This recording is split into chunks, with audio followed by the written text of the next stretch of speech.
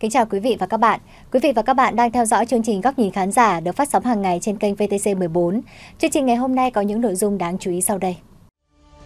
Một chiếc ô tô 7 chỗ mất lái lao lên vỉa hè tông hàng loạt xe máy đang dựng tại đây. Vụ việc xảy ra tại thị trấn Vũ Thư, Thái Bình. Phản ánh của khán giả Nguyễn Đình Tâm, số điện thoại 09343 số cuối 841.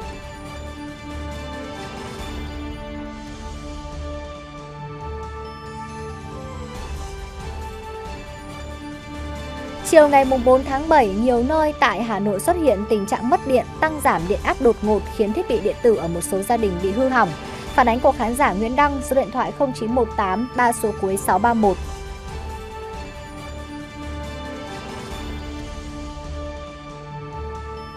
Thời tiết nắng nóng gay gắt, số lượng bệnh nhân nhập viện do đường hô hấp tăng cao, tập trung chủ yếu ở người cao tuổi và trẻ nhỏ.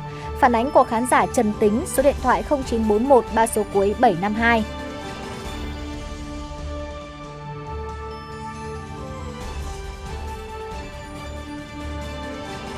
Xăng tăng liên tiếp khiến nhiều ngư dân đành lựa chọn cho tàu cá nằm bờ không ra khơi vì sợ thua lỗ.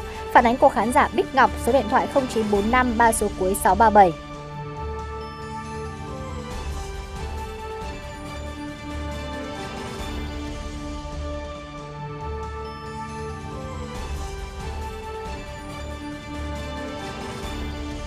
Những gác chắn đường tàu miệt mài vì bình yên tuyến đường sắt, phản ánh của khán giả Minh Quân số điện thoại 09743 số cuối 521.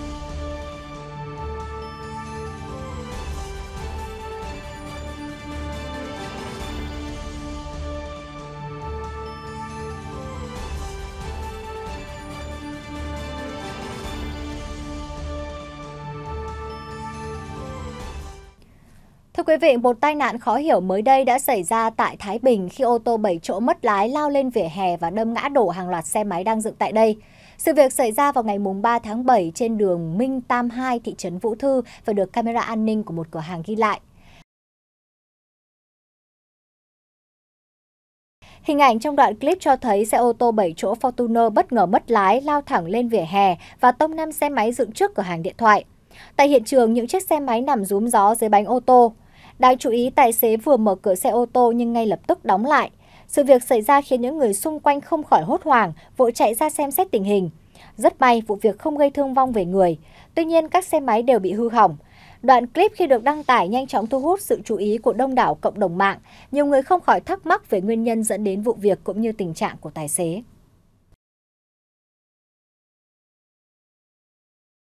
Vào khoảng 12 giờ 15 phút ngày 4 tháng 7, một vụ tai nạn thảm khốc trên đường tránh lũ, đoạn qua xã Hồng Thủy, huyện Lệ Thủy, Quảng Bình, làm hai xe ô tô biến dạng và hai người tử vong tại chỗ. Ghi nhận tại hiện trường cho thấy chiếc xe ô tô con mang biển kiểm soát là 38A 14435 đã va chạm với xe đầu kéo biển số 76C 06049 kéo theo rơ móc 76R00209. Cú va chạm làm tài xế xe con dính chặt trong khoang lái, một nạn nhân khác văng ra khỏi đường tử vong. Ba người trên xe con bị thương được đưa đi cấp cứu tại Bệnh viện Đa khoa huyện Lệ Thủy. Tại hiện trường, phần đầu phía trái bên lái của hai xe bị biến dạng, xe con hư hại nặng nề. Ngay sau tai nạn, lực lượng chức năng địa phương đã có mặt tại hiện trường và tiến hành cứu hộ cứu nạn đối với các nạn nhân.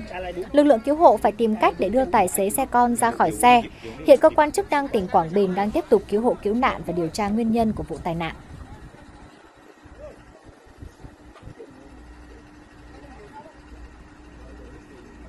Mới đây, một số nơi của Hà Nội xuất hiện tình trạng mất điện, tăng giảm điện áp đột ngột, một số gia đình hỏng thiết bị điện tử. Thông tin tăng giảm điện áp và mất điện giữa thời điểm Hà Nội và một số tỉnh miền Bắc đang vào cao điểm nắng nóng gây rất nhiều lo ngại cho người dân. Đại diện truyền thông của EVN Hà Nội cho biết đã tiếp nhận thông tin, phối hợp khắc phục hậu quả.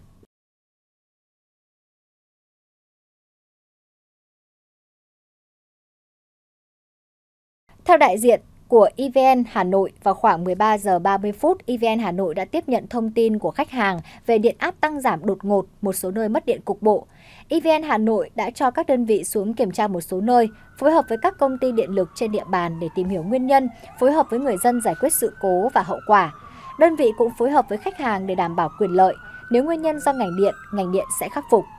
Trước đó, trên nhiều diễn đàn mạng xã hội, người dân ở các khu vực như là quận Đống Đa, Hà Đông, phường Khương Mai, Hoàng Mai, Âu Cơ, Tây Hồ hay Linh Đàm cho biết chứng kiến hiện tượng tăng giảm điện áp điện liên tục. Nhiều hộ dân bị mất điện không lý do, sau đó có điện, bóng đèn bị tối, sụt điện áp rồi tăng điện áp cao. Có nhiều người cho biết đã bị cháy thiết bị điện.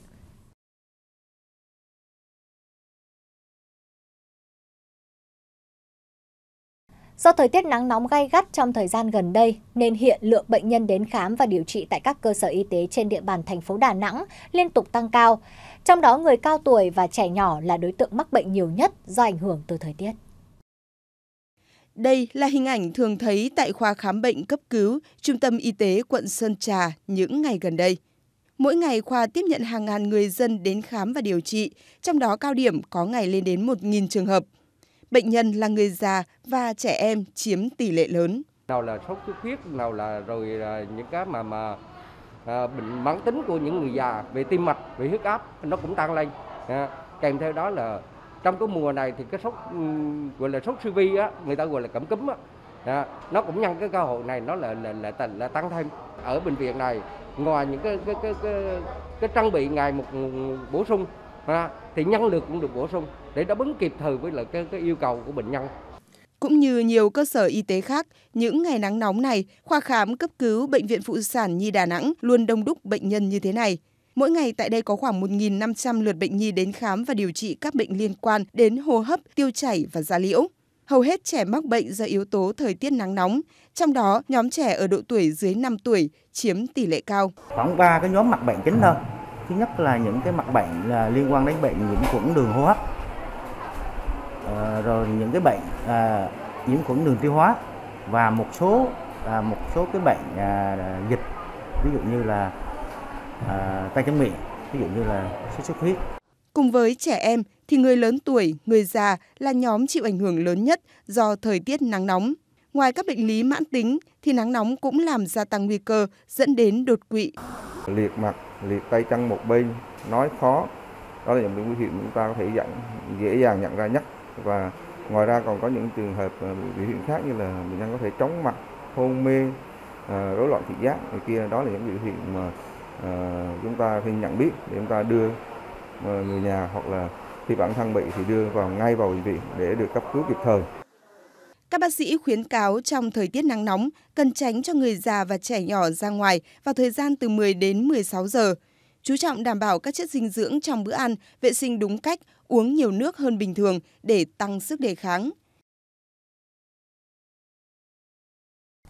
Thưa quý vị, miền Tây, nơi có những vườn dừa xanh tốt đã vô tình sản sinh ra nghề hái dừa độc đáo. Có những nghề phải làm việc một mình và luôn đối mặt với sự an nguy của tính mạng. Nhưng do cuộc sống mưu sinh, họ chấp nhận rủi ro đeo bám nghề. Trong đó nghề hái dừa là một trong những nghề phổ biến ở Bến Tre. Hầu như những người trẻ tuổi ở nông thôn đều có thể leo dừa, song để trở thành thợ hái dừa chuyên nghiệp thì lại không hề đơn giản. Dù nghề gặp nhiều khó khăn và vất vả, thế nhưng vẫn có những người gắn bó với nghề hàng chục năm bởi nó đem lại thu nhập ổn định cho gia đình. Ông Lê Văn Đờn, ngụ xã Thành An, huyện Mỏ Cày Bắc, tỉnh Bến Tre đã có hơn 30 năm gắn bó với công việc hái dừa thuê. Năm 20 tuổi, ông Đờn đã bắt đầu công việc cho những hộ trồng dừa trong vùng. Sau khi làm được một thời gian, ông đã sắm sửa được dụng cụ để chuyển sang móc dừa thuê, vừa nhanh vừa ít tốn sức. Theo ông Đờn, hái dừa là nghề không dễ theo đuổi bởi nó cần sự khổ luyện để thành thạo và biết cách giữ an toàn cho bản thân. Này cũng à, nguy hiểm, một cái dừa mình leo ổ à, à, xuống có khi nó chạy hai ba tái mình không để ý là rớt tay vô đầu nguy hiểm.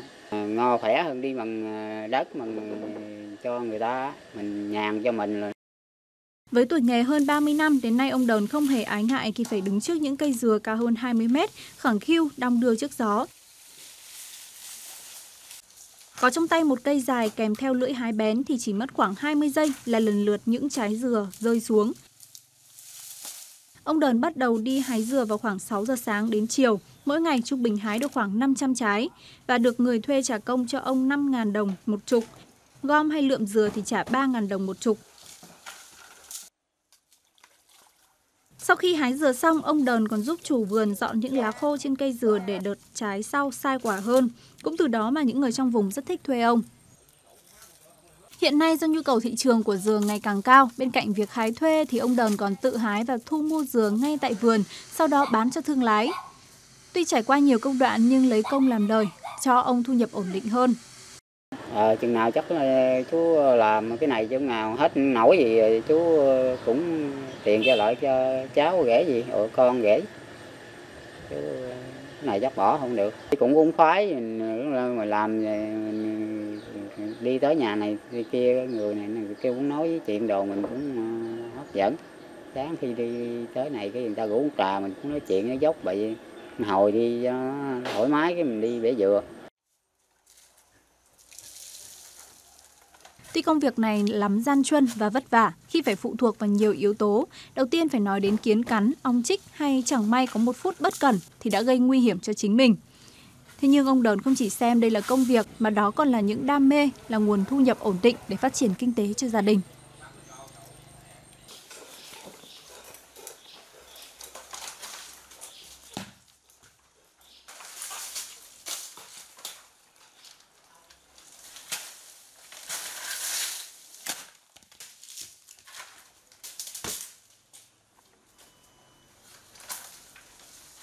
Thời gian qua, giá xăng dầu liên tục tăng cao cộng với nhiều nguyên nhân khác như là thiếu nhân lực, nguồn lợi thủy sản cạn kiệt. Hàng trăm tàu cá của ngư dân huyện Gò Công Đông, Tiền Giang phải nằm bờ. Đến nay bước vào mùa cá năm, nhưng nhiều tàu cá không ra khơi vì sợ thua lỗ. Ông Nguyễn Văn Vũ ở khu phố chợ 1, thị trấn Vàm Láng chia sẻ, do chi phí tăng cao, nhất là xăng dầu liên tục tăng trong thời gian gần đây, kéo theo nước đá, nhu yếu phẩm cũng tăng theo. Bình quân một chuyến biển, chi phí một tàu đội lên 30% so với trước. Ờ, giá xăng dầu nó cao quá anh ơi, ờ, năm rồi nó chỉ có 13 ngàn. Mà dân ờ, làm còn không có ăn mà giờ năm nay nó lên thì giờ tại ờ, đây là hết 29 ngàn rồi. rồi giá xăng lên là kéo theo cái lý cụ hải sản nó lên theo. Nên là chúng tôi làm không có ăn gì. Rất là, là nói chung là lỗ. Có thể là hiện giờ ở thị trấn Dầm Láng này là là khoảng 700 chiếc hiện giờ là đậu khoảng là hết là 600 chiếc là chỉ hoạt động cầm chừng 100 chiếc thôi. À, tôi đề nghị uh, uh, chính sách nhà nước hỗ trợ cho ngư dân chúng tôi được uh, uh, ra khơi. Thì tình hình hoạt động bây giờ thì biển rất khó khăn vì vụ dầu nó quá lên. Dầu lên thì dầu là một điểm chính của về, về ngành thủy sản. Mà về ngành thủy sản dầu nó lên quá thì làm thì nó không có ăn. Thí dụ hồi nãy là 10 đồng nó còn thí dụ giờ dầu lên cuốn này là chỉ có đồng hai đồng giờ bạn bè anh em không đủ sống nữa rồi cái cổ buộc phải đâu bây giờ tôi mong muốn nhà nước làm sao mà can thiệp cho dầu xăng nó hạ xuống bình thường lại như hồi xưa lại cho dân ngư dân người ta làm ăn yên ổn rồi còn ông Phạm Minh Hùng ở khu phố Lăng Một, thị trấn Vàm Láng có hơn 30 năm gắn bó với nghề khai thác thủy sản. Gia đình ông có cơ sở chuyên sản xuất ngư lưới cụ, cung cấp cho các tàu đánh bắt thủy sản chia sẻ. Trước đây, cơ sở ông lúc nào cũng có trên 10 người thợ. Từ khi dịch bệnh COVID-19 bùng phát, cộng với giá xăng dầu tăng liên tục từ đầu năm đến nay, nên số lượng hoạt động của tàu cá giảm. Cơ sở chỉ còn vài người thợ sản xuất cầm chừng.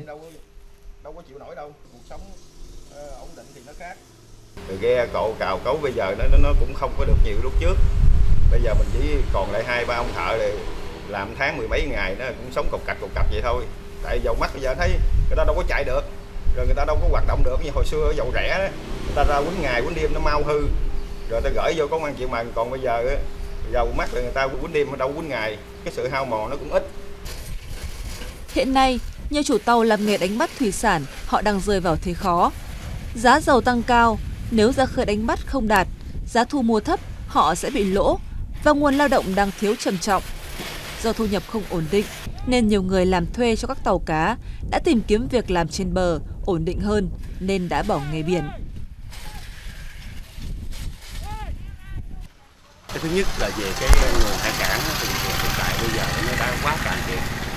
Cái thứ hai nữa là cái dịch bệnh ờ, kế tới năm 2022 thì giá dầu nó tăng cao, cho nên đời sống của chủ phương tiện và ngư dân ở tại thị trấn Dầm Láng nói riêng thì rất là khốn đốn hiện tại bây giờ cả Dầm Láng với Kiển Phước thì trên dưới khoảng 700 chiếc ghe nhưng mà đầu năm 2022 này chỉ chạy được 1 phần 3 là có nghĩa là khoảng hai trăm mấy chục chiếc ghe để ra khơi đánh bắt thôi.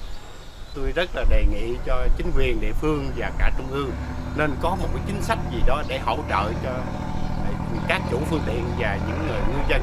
Từ hồi xưa thời sửa giờ người ta đã bám biển à, coi như đây là cái tài sản của quốc gia mà của là nhân dân. Theo thống kê, trên địa bàn huyện Gò Công Đông có 891 tàu cá, trong đó tàu có chiều dài từ 15 mét trở lên là 668 phương tiện. Các tàu nằm bờ lần này chủ yếu đánh bắt bằng cào đơn, nên Tri Cục Thủy sản cũng khuyến cáo bà con ngư dân cải hoán hình thức đánh bắt, vừa giảm chi phí nhiên liệu và tránh đánh bắt tận diệt để hướng đến ngành khai thác thủy sản bền vững.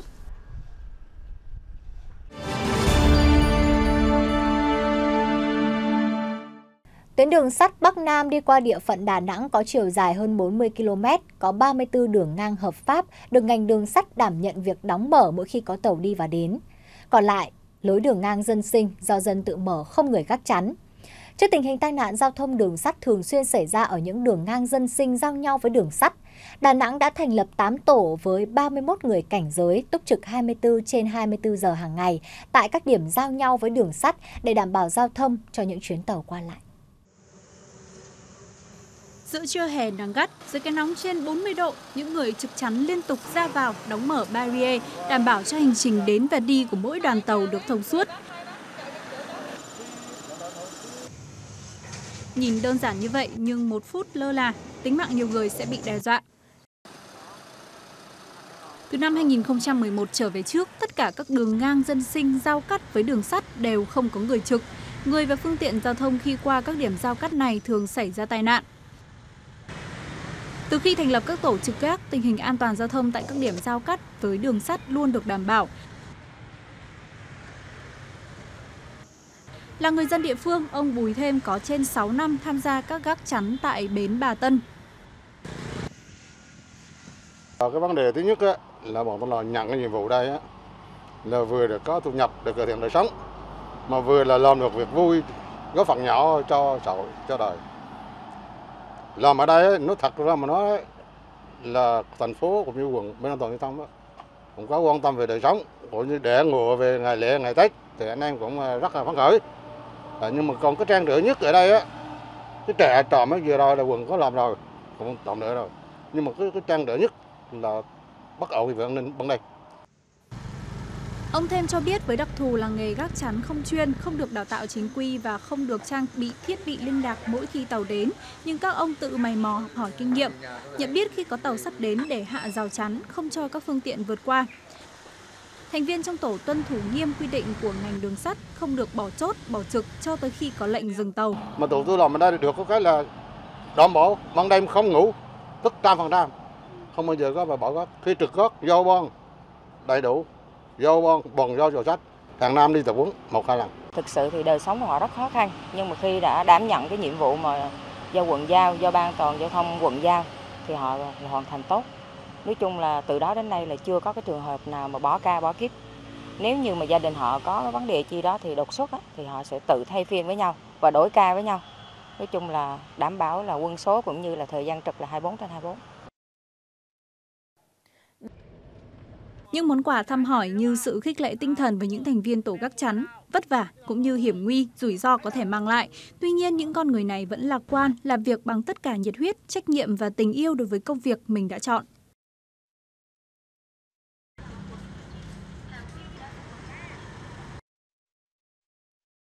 Mùa hè đến, thành phố biển Nha Trang bước vào cao điểm du lịch. Nhiều du khách đến từ thành phố Hồ Chí Minh đã đổ ra bãi tắm Hòn Trồng để giải nhiệt. Trong đó, loại hình du lịch chèo thuyền sắp để thư giãn và ngắm bình minh trên biển được lựa chọn nhiều. Ghi nhận tại bãi tắm Hòn Trồng được coi là bãi tắm đẹp thứ nhì tại Nha Trang sau bãi tắm đường Trần Phú. Rất đông du khách từ thành phố Hồ Chí Minh ra đã đến đây để giải nhiệt, mang theo nhiều thuyền sắp và cùng nhau chèo thuyền ngắm bình minh trên biển. Người chơi cảm thấy rất thích thú khi điều khiển thuyền di chuyển trên mặt nước, được bềnh bồng giữa biển chờ đón bình minh ló dạng, nhất là được ngắm toàn cảnh bãi tắm hòn trồng từ biển. Được biết, chèo thuyền sắp hay còn gọi là chèo thuyền đứng là bộ môn thể thao trên mặt nước chỉ mới du nhập vào Việt Nam những năm gần đây. Thuyền dài khoảng 3 mét, rộng gần 1 mét, khi bơm đầy hơi chịu được tải trọng là 150 kg. Người chơi được nối cổ chân với sắp bằng một sợi dây an toàn, được hướng dẫn cách trèo, cách xử lý tình huống khi bị ngã và người chơi phải luôn mặc áo phao trong quá trình trèo thuyền. Biển Nha Trang và biển Hòn Trồng là hai nơi rất được người chơi, nhất là du khách lựa chọn để trèo thuyền sắp ngắm bình minh trên biển. Ở phần cuối chương trình, mời quý vị cùng điểm lại các clip đã phát trong ngày hôm nay.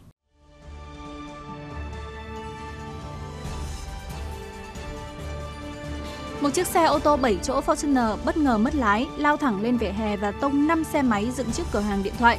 Vụ việc xảy ra vào ngày 3 tháng 7 vừa qua trên đường Minh Tam 2, thị trấn Vũ Thư, Thái Bình và được camera an ninh của một cửa hàng ghi lại.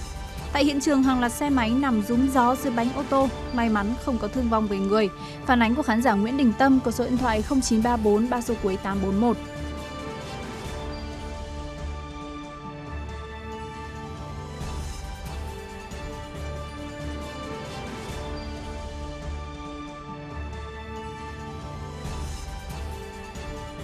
Mới đây, một số nơi của Hà Nội xuất hiện tình trạng mất điện, tăng giảm điện áp đột ngột, một số gia đình hỏng thiết bị điện tử. Thông tin tăng giảm điện áp và mất điện giữa thời điểm Hà Nội và một số tỉnh miền Bắc đang vào cao điểm nắng nóng gây rất nhiều lo ngại cho người dân. Đại diện truyền thông của EVN Hà Nội cho biết đã tiếp nhận thông tin, phối hợp khắc phục hệ quả. Phản ánh của khán giả Nguyễn Đăng có số điện thoại 0918 3 số cuối 631.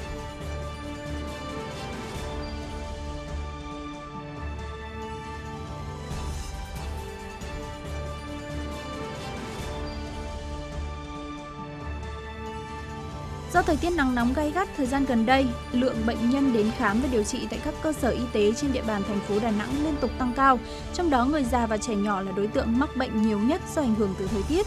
Các bác sĩ khuyến cáo trong thời tiết nắng nóng cần tránh ra ngoài vào thời gian từ 10 đến 16 giờ, chú trọng đảm bảo chất dinh dưỡng trong bữa ăn, vệ sinh đúng cách, uống nhiều nước hơn bình thường để tăng sức đề kháng. Phản ánh của khán giả Trần Tính của số điện thoại 0941 3 số cuối 752.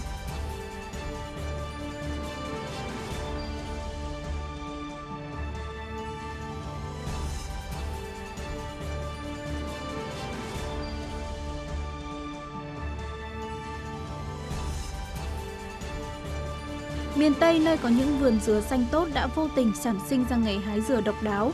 Có những nghề phải làm việc một mình và luôn đối mặt với sự an nguy của tính mạng. Thế nhưng do cuộc mưu sinh, họ chấp nhận rủi ro đeo bám nghề. Trong đó, nghề hái dừa là một trong những nghề phổ biến ở Bến Tre. Hầu như những người trẻ tuổi ở nông thôn đều có thể leo dừa. Song để trở thành thợ hái dừa chuyên nghiệp lại không hề đơn giản. Dù nghề gặp nhiều khó khăn, vất vả là thế, nhưng vẫn có người gắn bó với nghề hàng chục năm bởi nó đem lại thu nhập ổn định cho gia đình. Phản ánh của khán giả Lâm Minh Hưng của số điện thoại 0374 3 số cuối 754.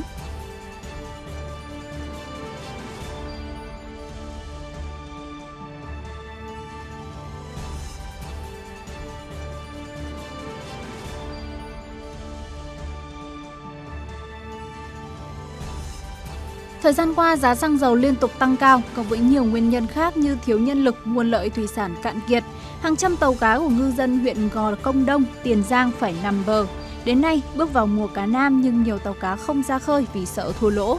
Trên địa bàn huyện Gò Công Đông có 891 tàu cá. Các tàu nằm bờ lần này chủ yếu đánh bắt bằng cào đơn nên Tri Cục Thủy sản cũng khuyến cáo bà con ngư dân cải hoán hình thức đánh bắt, vừa giảm chi phí nhiên liệu và tránh đánh bắt tận diệt để hướng đến ngành khai thác thủy sản bền vững. Phản ánh của khán giả Bích Ngọc của số điện thoại 0945 3 số cuối 637.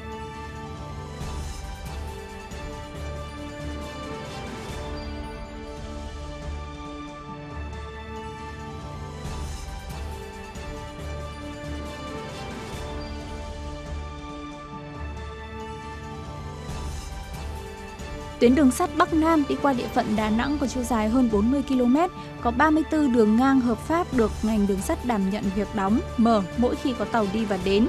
Còn lại lối đường ngang dân sinh do dân tự mở, không người gác chắn.